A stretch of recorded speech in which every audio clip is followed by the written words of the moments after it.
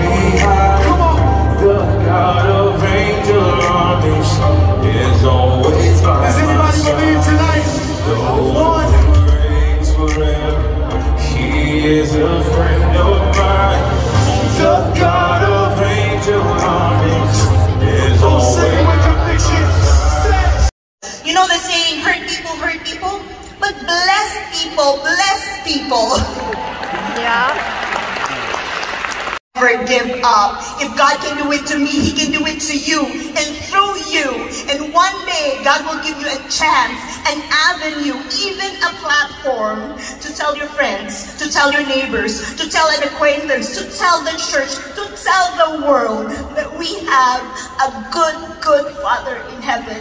To him be all the glory and honor and praises forever and ever. Thank you so much and God bless you all.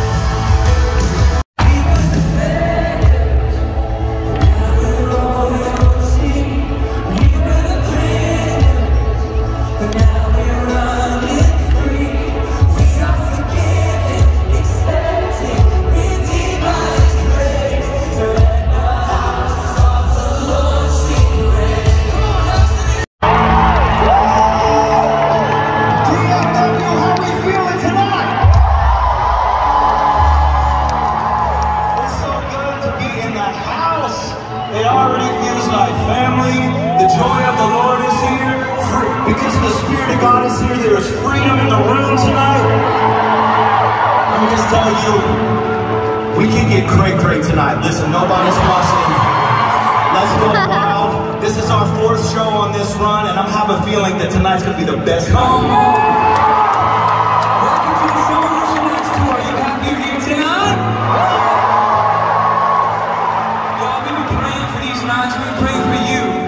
10 months. Yeah. And I'm so excited to see what God has for us in this room. I'm telling you, no hype. Not trying to make it bigger than it is, but every night of this tour has been so, so special as the kingdom of God has come together. I mean, look, look Fort Worth. Look at this family in this room. Isn't this amazing? Jesus says, when two or more gathered in his name, he is in the midst of that moment that when we sing praises to him, he dwells in that place. We've been given specific promises from Almighty God that when we come together unified under His grace and His love, standing on the victory of His cross, pointing at the empty grave and saying, "That's not where I belong, because my Savior defeated it." There is so much for us tonight as one family, one church, one voice. and We're going to sing about it all night. Who's with us?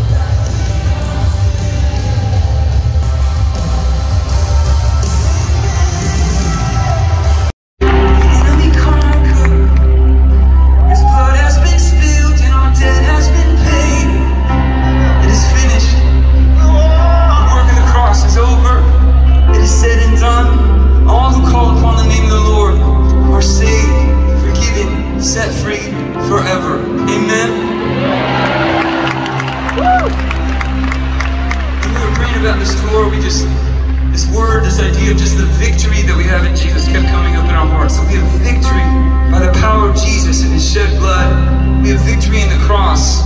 We are standing on it today as believers. We're standing on the things that He has won and saying we are victorious. We are more than conquerors. We know what our hope is. We know who's on the throne. We know the end story.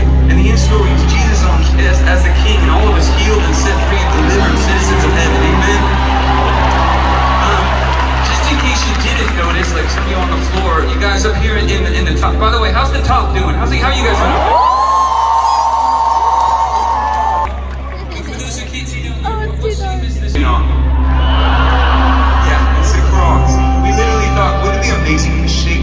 Like a cross? Like we are standing on the victory. Every time we step out and every time you see us, we are reminded of what we have in Him. Jesus said, in this world you will experience tribulation, but take heart, I have overcome the world. Don't you love that? I love that for two reasons. Jesus is saying, take heart, I've overcome. You can trust in me. But he's also acknowledging the very real things that we go through battles, right?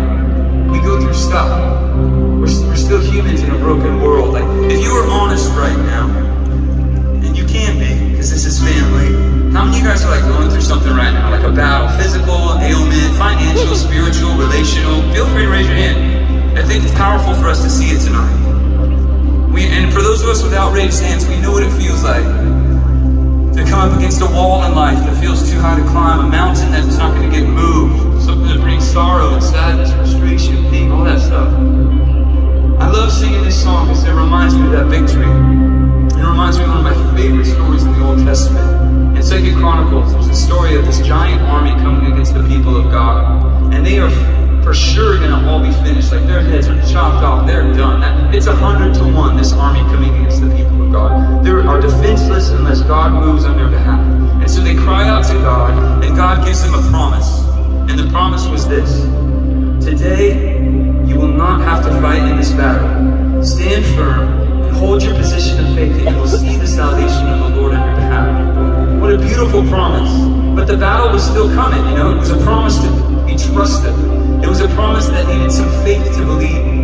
And what I love about this story is that the people of God showed such great faith. Instead of taking the military to the front lines because they got that promise, they said, you know what? The God who opened up the seas for us, the God who brought down the walls of Jericho for us, the God who led us into the land we are in now, over and over again, He has delivered on His promise, and so we are going to believe it. So instead of fighting, instead of even attempting to fighting to fight, we're going to do something different. We are going to worship. It's just is amazing. So instead of sending their military to the front line, you know who they sent out? They sent out their priests and their worship leaders to the front line. No weapons. Their one weapon, you know what it was? It was a song. And you know what they sang in the midst of the battle? They didn't even sing at the battle. They didn't even sing about the battle. I would have written a song really quick that said, you better run away or my God's gonna lightning bolt you or something, you know? But they didn't even sing that. You know what they sang? Glory to God for his steadfast love endures forever. Glory to God for his steadfast love endures forever. And as they focus on God and not the battle, as they sing about who he was, their faith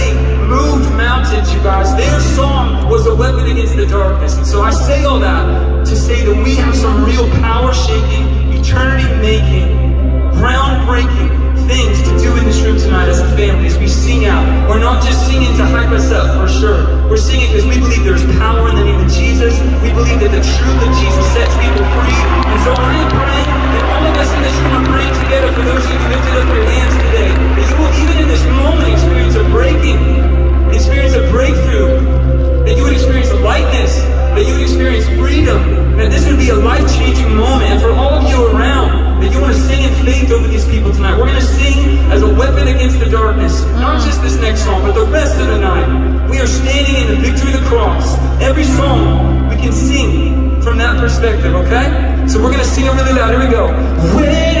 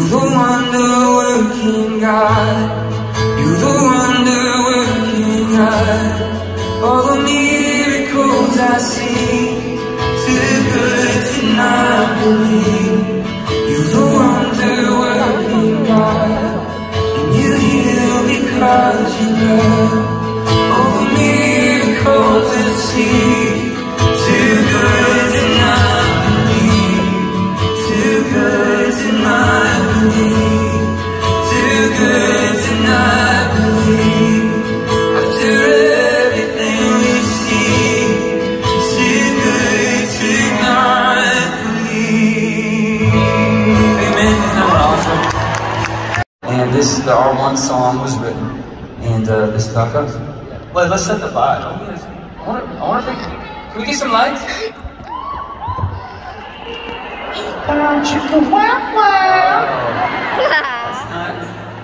um, okay, I'm gonna test y'all. It's missing one thing.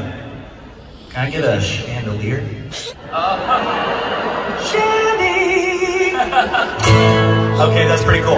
Um, I feel like every night of tour, um, no one's thought it was that cool, but it was Phil and I's favorite part of the jumping up and, down. Our favorite thing every We're single like, People, their heads are gonna. When you say Shandy, people's heads are gonna explode. Babies are gonna get born. It's gonna be amazing.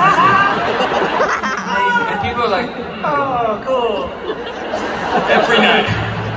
Yeah. Okay. Like, okay, here we go. We enjoy it. This is amazing. Come on. 아.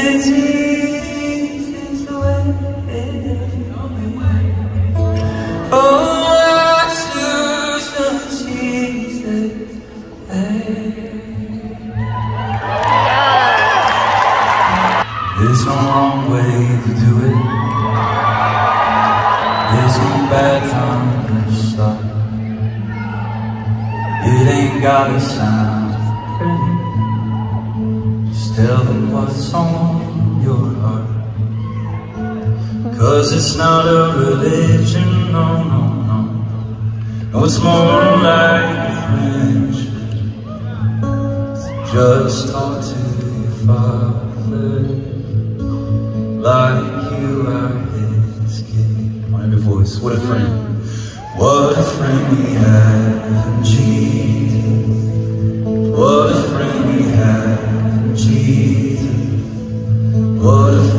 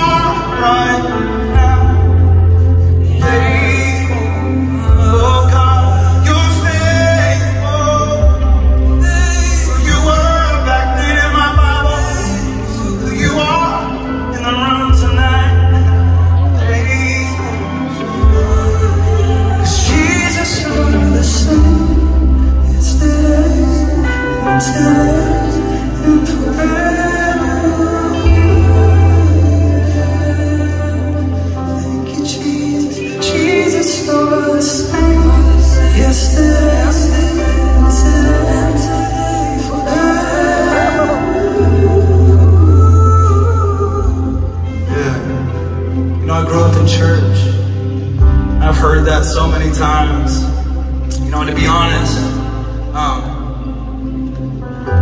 never really moved me that much. I'm like, so cool, you're consistent. Cool, cool, cool. Yeah, sick. And until, so, and I, I've grown up in church, and yet it's like the most beautiful thing about God is like you can even grow up in the faith, and every day there's new revelation. You know, and some things are so elementary, and yet I'm, you know, 30 some years old. I can't remember, 32 or 30, 30 something. And it's like lately, just this this revelation that if He is the same. When I read my Bible and I see the kind of people that God chose to use murderers, adulterers, that you would think the deepest, the darkest of sinners, and that's who God chose to use. He didn't just save them, then He used them to spread the gospel. So if He did that with them, what can He do with my life? What could He do with yours? Cause the God of David is my God. The God of Moses is your God too. So what can He do with you? What can He do with you? Hey! And my favorite scripture is Ephesians 3.20 that says, God is able to do exceedingly abundantly more than all we could ever ask or think or dream according, this is the coolest part, according to the power that he's placed inside of you and you and you. For those who believe in Jesus and have received the Holy Spirit, do you know you have power living inside of you? And that's why we can boast in our weakness. And I feel like there's people in the room tonight, you've been trying it on your own. Listen, y'all, I know where we're at. The Bible Belt, we're, on, we're in the daggone buckle. Big old buckle. Dang it, I just got one. I should have worn it tonight. It's so cool.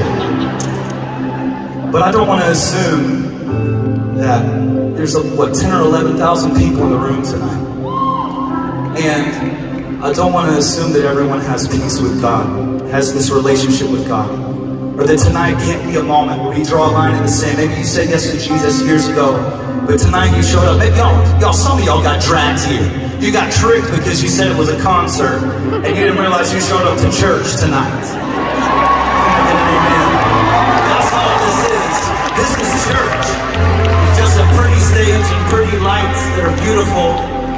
But y'all, this is this is church. And we've been praying for for you guys for months. And God laid something just it became so abundantly clear what we were supposed to go after. If y'all follow my journey, and I've been touring for the past few years, and I've, I've been praying for healing because I think it's something we're missing. And, and my Bible says that miracle signs and wonders follow those who believe, and I believe. So I think that's something I can see in my life if I were to expect it and pray for it. And I didn't even grow up charismatic or Pentecostal or anything. Up Southern Baptist, but my this hunger for God has just led me to go, I think there's more. I want to believe the entire Bible, not the safe parts. And it's funny how it's really hard for us to talk about and believe for miracles when we believe in this Jesus that was crucified, placed in a grave, and then three days later was erected, resurrected. So surely for me, I'm like, cancer can leave bodies, depression can vanish, anxiety can go,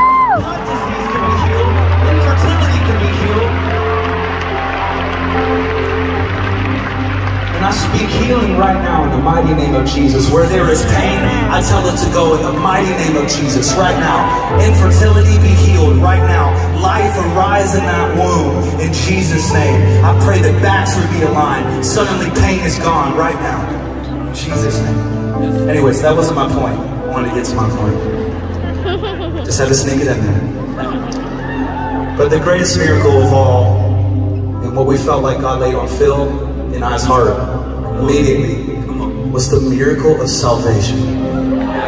That is the most important thing in your life. If you have received Jesus or not, that's what we want to invite you into. Again, not assume, you know, don't want to assume everyone in here is, has peace with God, we want to extend that invitation. He's extending that invitation. Y'all, I don't even have to tell you the gospel. We've been singing it all night. This really simple elementary revelation hit me the other night.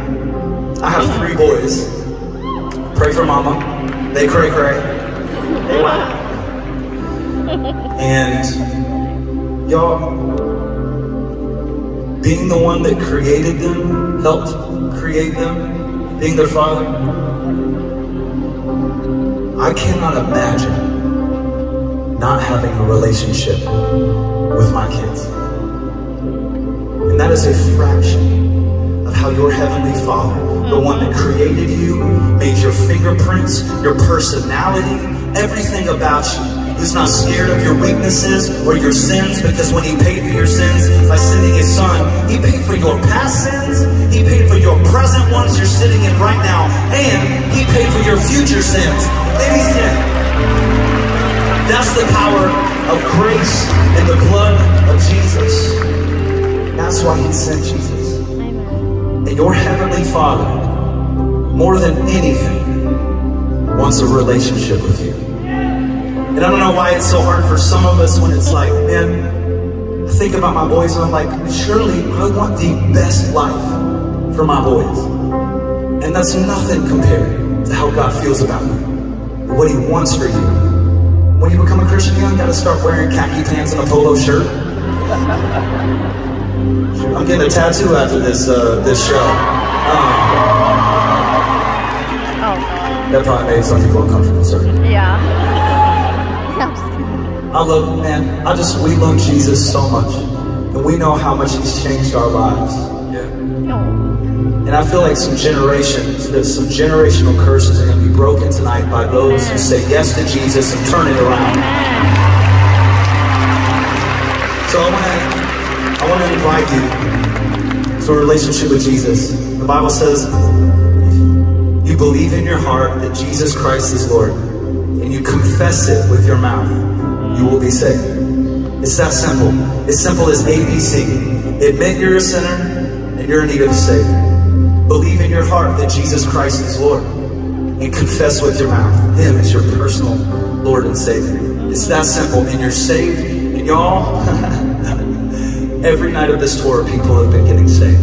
And then they've been coming back to Jesus we had a row of security guards who were working the event, had no idea we were about to have church surprise, and they walked out and with a, a relationship with Jesus. Wow. I think that's pretty awesome. So maybe it's even maybe it's even just one security guard, a servant tonight. And you're hearing my voice, you're going, I want to get right with God. This is the moment. And maybe this is a moment for some of us that you you've been running for years, you've been running for a few months, and tonight you need to draw a line in the sand and say, Jesus, I want to follow you, I want to give you everything. Go turn it back, the cross before me, the world behind me. I want to put my life in your hands. And so, if you want to make that commitment, why don't you pray this with me? Say, Jesus, I give you my life. I recognize that I'm a sinner and I'm in need of a Savior. And I believe that Savior is you, Jesus Christ. So I give you my whole life. I surrender. May the old man die, and may my new life in Jesus Christ be resurrected now. I want to be born again. I place my faith in you. I place my hope in you, and I give you everything. And it's in your name I pray. Amen. Come on, give it up for those who that prayer.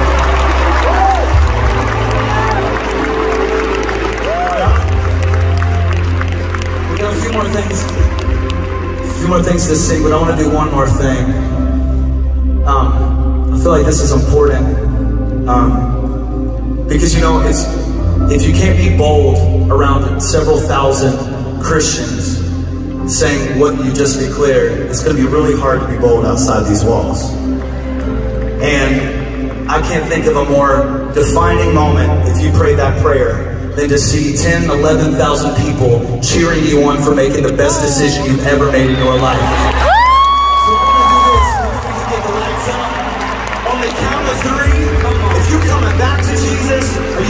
Yes for the first time, I want you to raise your hand on the count of three. I don't care if it's one person. You ready? Come on, this is a, a defining moment. One,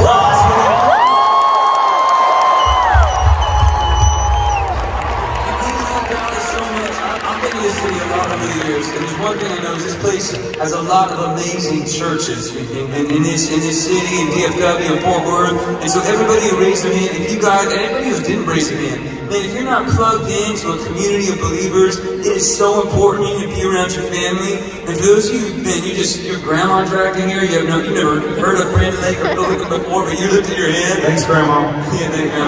Uh, man, get plugged into a church. and People aren't going to be perfect, but Jesus is perfect. And being in community is a beautiful thing. I also want to remind you guys, we love Compassion International. And I know many of you uh, grabbed a packet today. And your heart was stirred to be a part of a child's life. I just want to encourage you and remind you, those packets that were passed out are so, so precious because there's not another packet with that face and that name on it. And so we, we, we don't want those packets to get lost, you know, in the backseat of a car or like the bottom of a purse, right? Hey, ladies, I know how y'all purses be. You got everything in the world, can't find nothing. So follow through with that kid. Follow through with that child right there, right in front. What's, Yeah. what's their name? I can't pronounce it. That's the best. That's the best. I feel like that too. Actually, sometimes I I do the I do the pitch and tell people about compassion, and the tour people deliberately put the hardest names up on stage. So when I look at it, I'm like, oh no, you know. But these kids, they need our they need our help, and so take time. Make sure you follow through with that packet. Use the QR code. Sign up. Don't let that packet get lost. Thank you so much for, for saving a little child's life today. And uh, man, man- oh, you guys. Wait, yeah. Let's name them all. Okay, and then. let's do one at a time. Okay, one at a time. It's Okay, a Sunday. It's a Let's Lord's. Day. Okay. Yeah, you do first. Okay. Can we please give a rowdy thank you to the one and only KB? Come. You guys get so good. Amazing, amazing rapper, singer, artist, but y'all, what we love about him the most is he is a pastor. He's a shepherd of people, a discipler. He is, man, like seriously, I love our conversations. We, we literally talk for hours. He is such an amazing man of God. And number two, we are so thankful to have him on this tour. He is, he is just building bridges Yeah. um, all over the place, uniting people in the love of Jesus. He has such an amazing relationship with God. I love my conversation with him on this tour. Can you don't give it up for Carlos Whittaker? He's, we're so thankful for him on. And last but certainly not least, We have a we have connected our band together to create. a mega band. They're band. like the Avengers version of the band of band. And they are amazing guys. Pastors' hearts, incredible people, um, and we love them so much. Here's our girl, Summer. Can you guys give that for our band tonight? And um, one more time for the like, I don't know how many people it is, but like so many people that put all of this together. Our management, the people that dream with us and said, okay, we're crazy enough to do this with you. Can you give it up for our whole crew one more time? Uh, we got a little bit more. What an amazing night it has been. I can't think of a better way to kind of wrap it up and, and just to say thank you to God and lift up a heart of gratitude.